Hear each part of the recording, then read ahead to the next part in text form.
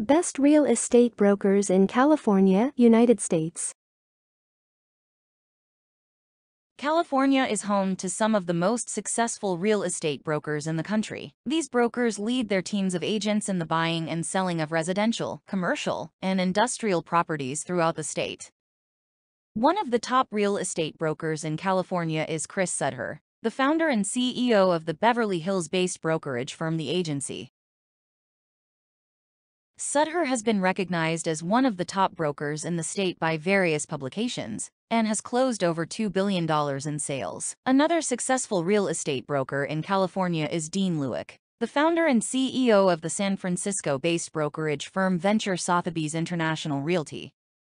Other top real estate brokers in California include John Trutchard, the president of the Los Angeles-based brokerage firm Hilton and Hyland, and Todd Glazer, the founder and CEO of the Miami-based brokerage firm Todd Michael Glazer Incorporated, which has a presence in California as well.